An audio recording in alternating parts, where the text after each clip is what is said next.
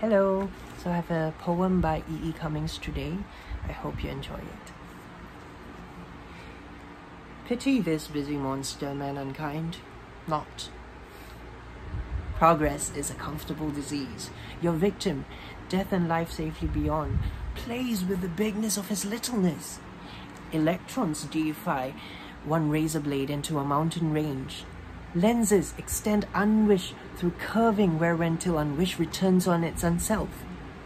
A world of made is not a world of born. Pity poor flesh and trees, poor stars and stones, but never this fine specimen of hyper magical ultra omnipotence. We doctors know a hopeless case if Listen, there's a hell of a good universe next door. Let's go. Thank you.